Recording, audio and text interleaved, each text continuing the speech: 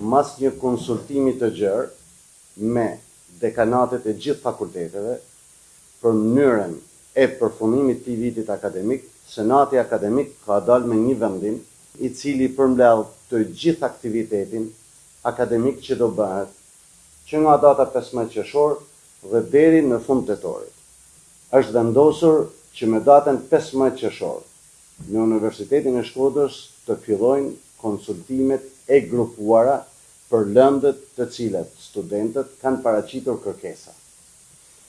Pesëmbëdhjetë qershor deri me tre korrik është periudha e konsultimeve, ku çdo drejtor departamentit mbas kërkesave të studentëve do hartojë orarin e hyrjes-daljes studentëve bazuar natyrisht në rregulloren e sigurisë dhe të mbrojtjes nga Covidi nëntëmbëdhjetë, për të ndihmuar studentët dhe në një farë mënyre për t'ia larë borxhin për riprovime që nuk janë ba në sezonin e prillit, atëherë, nga data pesëmbëdhjetë qershor deri me datën tre korrik do organizohen riprovimet. Janë vetëm për studentat.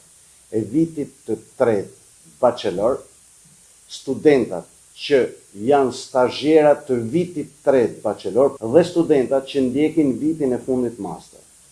Pra, studentat që nesër mund të fillojnë të regjistrohen dhe regjistrimi do rrinë hapur deri me dymbëdhjetë qershor, në mënyrë që t'i lajmë kohë drejtorëve të departamentit të organizojnë grupet që do vijnë për me dhanë provime dhe oraret natyrisht për këto grupe. Pastaj nga katër korrik deri me njëzet e tre korrik do jenë provimet e semestrit dytë për studentat e vitit tretë bachelor dhe studentat e vitit fundit master. Tani, meqenëse një pjesë e studentëve dhe një pjesë e pedagogëve kanë kërkuar që ne mund të bajmë edhe provimin online, Periudha katër korrik deri me njëzet e tre korrik mund të shfrytëzohet nga studentat e vitit parë, vitit dytë bachelor dhe vitit parë master me dhanë provim online. Nga njëzet e katër korrik deri me shtatë gusht është lënë për mbrojtjen e diplomave. Nga data njëzet e katër gusht deri me tetëmbëdhjetë shtator do bëhen konsultime të grupuara për studentët e vitit parë dhe vitit dytë që kanë paraqitur interes për të ardhë në auditor dhe për të rifresku njohuritë para provimit.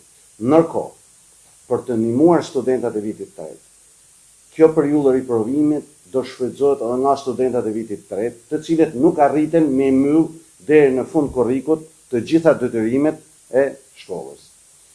Periudha njëzet e një shtator deri më dhjetë tetor është periudha e provimeve për lëndët e semestrit dytë tashmë për studentat e vitit parë dhe vitit dytë bachelor. Ndërkohë, përsëri është lënë një periudhë për diplomimin e studentëve të vitit tre dhe viteve të fundit master, që është nga një tetori deri më dhjetë tetori.